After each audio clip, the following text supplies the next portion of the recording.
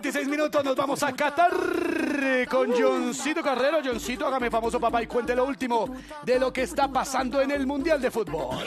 ¿Qué más, Johncito? Muy buenos días, oyentes de la calle, Esteban y toda la gente papá. que se encuentra ya callejeando muy temprano, iniciando semana y nosotros desde aquí, desde Doha ya, con toda la información y por supuesto este Mundial Qatar 2022. Pues les quiero contar que ya mañana tendremos, eh, como eh, bien sabemos, fecha mundialista. Mañana este partidazo entre Argentina y Croacia.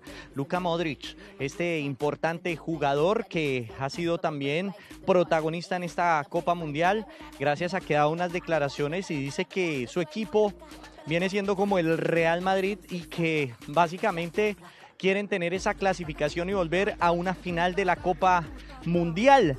Pues vamos a ver cómo le va a este jugador, al croata, que es la figura del equipo ajedrezado y que estará también mañana como protagonista en el estadio Luceil, uno de los estadios más hermosos de esta Copa Mundial y además que será la sede de la final Sí, de la Copa Mundial Qatar 2022. Ay, ay, ay. Por otro lado, también se alista Francia, Francia y Marruecos. Aquí, la ciudad, les quiero contar, toda está con el corazón puesto con los marrocos, como dicen, los marroquíes, obvio. que son la sensación y son la revelación de este torneo mundial.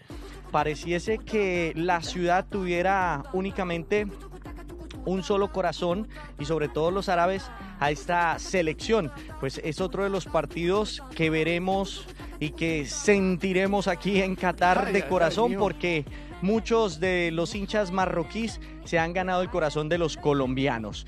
Y más adelante le voy a traer, Esteban, Cuéntelo, un papá. informe porque me encontré, escuchen bien, con una colombiana que trabaja en la mezquita de Farah. Es una de las mezquitas más importantes y la tenemos en entrevista también para Callejeando. Esto y mucho más desde aquí, desde Qatar. Chao chicos. Chao, papá, un abrazo.